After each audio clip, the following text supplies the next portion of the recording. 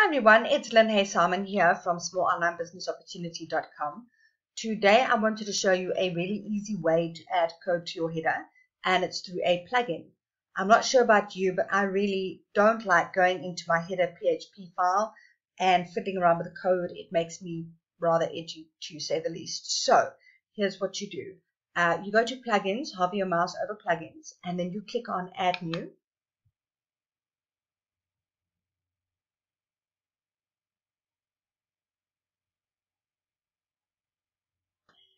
Great. Now over here on the right hand side it says search plugins. So here you type in insert headers and footers and press enter and it will search for that plugin for you.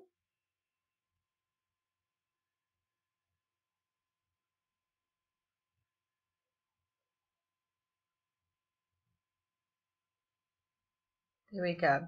So you can see there, insert headers and footers.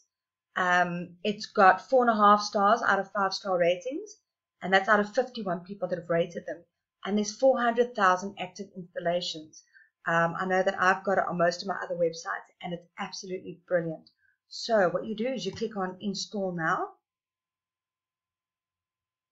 and then you click on activate.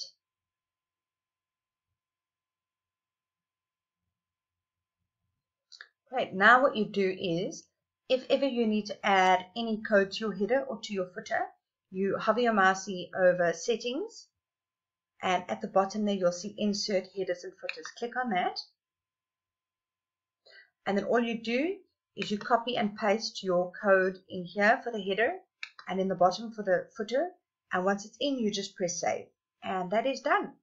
I hope you guys enjoyed this. If you have any questions, just leave them below in the comments and I will come back to you as soon as possible.